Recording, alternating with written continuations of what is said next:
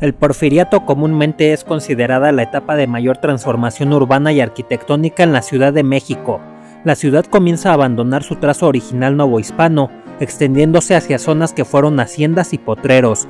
Las clases adineradas comienzan a adquirir predios, cuando estas zonas se urbanizan para construir grandes y lujosos fraccionamientos con mansiones influenciadas por las corrientes europeas, en especial el eclecticismo, cuyo término proviene del griego eclectos, que significa escogido y que acepta la mezcla de estilos integrados a una construcción.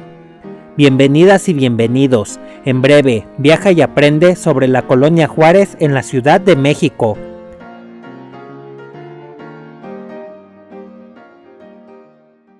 En la década de 1870, Rafael Martínez de la Torre inicia la urbanización de un terreno al oeste de la Ciudad de México, en lo que era la hacienda de la Teja, pero es hasta 1898 que la colonia se inaugura oficialmente, y es hasta 1904 que se da la urbanización definitiva a cargo de la compañía norteamericana de Chapultepec Land Improvement Company y que dieron por nombre inicial Colonia Americana, pero el 21 de marzo de 1906 se cambia el nombre por el natalicio de Benito Juárez por el de Colonia Juárez recibe el nombre de sus calles por el diplomático Ricardo García Granados, quien sugiere a los fraccionadores poner el nombre de las ciudades donde había prestado servicios diplomáticos. Por eso lleva nombres de ciudades europeas, excepto Dinamarca, que es un país, y Tokio, que es asiática. Al ser una colonia aristocrática, hay personas que compran manzanas enteras. Se abandona el estilo español donde la edificación parte a ras de la calle, y surgen rejas al frente de las propiedades con un jardín al frente y al centro la construcción.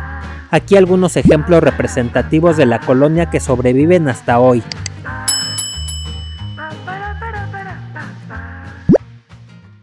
Casa Dante Alighieri es una sociedad civil fundada en Italia en 1889 y en México llega en 1902. Su finalidad es difundir y promocionar el idioma y la cultura italiana en 1969 hacen de esta casa de la época porfiriana su sede que ocupa hasta la actualidad.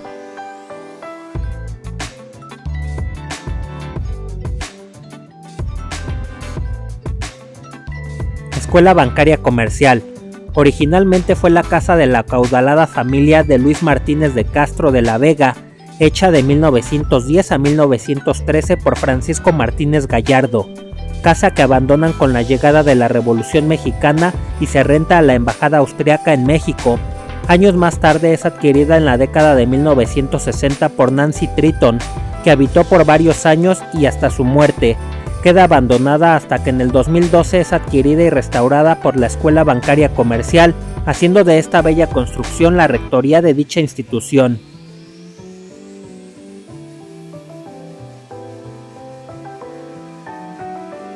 Casa de Tabasco en México Carlos Pellicer. Es un edificio de 1902 construido por Manuel Gorospe y que actualmente promueve actividades enfocadas al arte, las humanidades y lo social, representando al estado de Tabasco.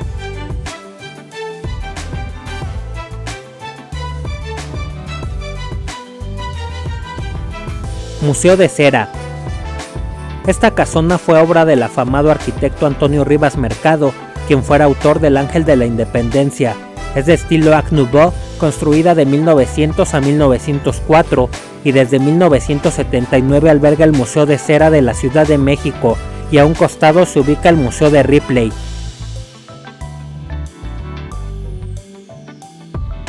Museo del Chocolate. La construcción data de 1909 y este sitio en la actualidad busca enaltecer la cultura del cacao y el chocolate por medio de actividades gastronómicas, académicas y artísticas. Templo del Sagrado Corazón de Jesús.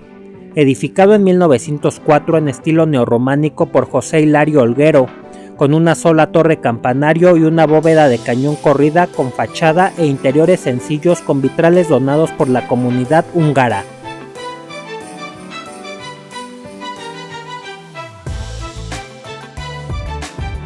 Edificio de Versalles y Berlín. Es un edificio realizado por el inglés Regis A. Pijoan, autor también del edificio Río de Janeiro, conocido como la Casa de las Brujas en la colonia Roma de la Ciudad de México, y el edificio La Colorada en Buenos Aires, Argentina. Tiene una entrada en pan coupé, con techumbre negra y remate cónico similar a la arquitectura religiosa alemana del siglo XII. Es de estilo ecléctico en tabique rojo, afina a la arquitectura inglesa y combina varios tipos de arcadas. Fue propiedad de la familia Rincón Gallardo, que eran descendientes de los Romero de Terreros, que en la época novohispana fueran condes de regla.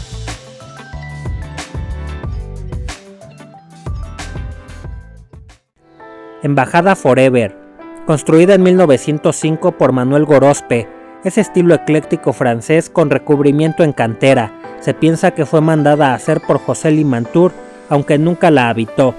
Actualmente pertenece a una empresa de productos naturales llamada Forever Living, y aunque nunca fue embajada, la empresa puso el letrero con ese nombre, la Embajada Forever.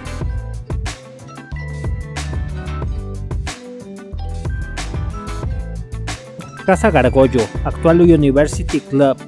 Fue casa de José Manuel María Gargollo, próspero empresario casado con Alicia Rivas Mercado. La construcción data de 1904 por el arquitecto José Luis Cuevas Pietrasanta, en estilo ecléctico donde destaca el neoclásico. Este empresario fue un coleccionista de arte y en su interior logró conseguir las que fueran las puertas de la Real y Pontificia Universidad de México, uno de los edificios barrocos más bellos de la ciudad, demolida por mandato de Justo Sierra para hacer la Suprema Corte de Justicia de la Nación. Otra obra que destaca es la mesa de billar donde durmió el emperador Maximiliano de Habsburgo, porque a su llegada las camas de Palacio Nacional estaban llenas de chinches. José Gargollo, a la llegada de la Revolución Mexicana, se van a Francia con su familia e invierte gran parte de su capital en la Bolsa de Nueva York, que en 1929 con la gran crisis queda casi en la quiebra y debe hipotecar su bella casa que no podría recuperar y es adquirida por el University Club que conserva hasta la fecha. Hotel Genet. En su inicio fueron departamentos de lujo en renta para los extranjeros en México, con baños y teléfonos en cada habitación, y después se decide hacerlo hotel con lo más novedoso, como servicios de taxis, barbería, café y restaurante, que como novedad tenían sándwiches.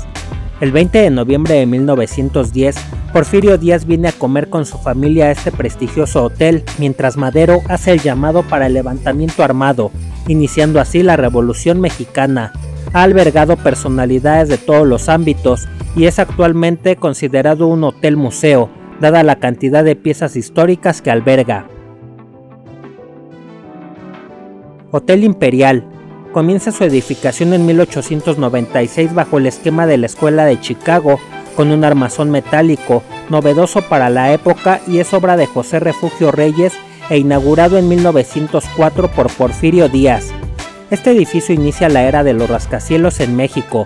Fue el primer hotel con un centro nocturno.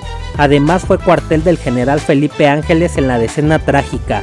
También llegó a ser embajada de Japón y actualmente conserva su función hotelera.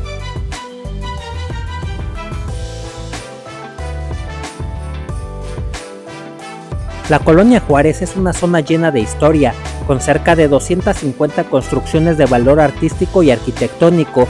Además, alberga monumentos como el Ángel de la Independencia que se elaboró para la celebración del centenario de la independencia de México por el arquitecto Antonio Rivas Mercado, el reloj chino que fue obsequio del emperador Puyi, último emperador de China, también como parte de estos festejos. El actual es una reconstrucción del original que sufrió severos daños en la decena trágica. Además de lo cultural, tiene una gran oferta gastronómica y de esparcimiento, destacando la llamada Zona Rosa, donde encontrará restaurantes, cafeterías y centros nocturnos. Estas son solo algunas de las tantas propuestas que esta colonia tiene para ofrecer al visitante. Suscríbete al canal y recibe información complementaria a tus viajes y forma parte de esta comunidad de viajeras y viajeros. Yo me despido hasta la próxima. En breve, viaja y aprende.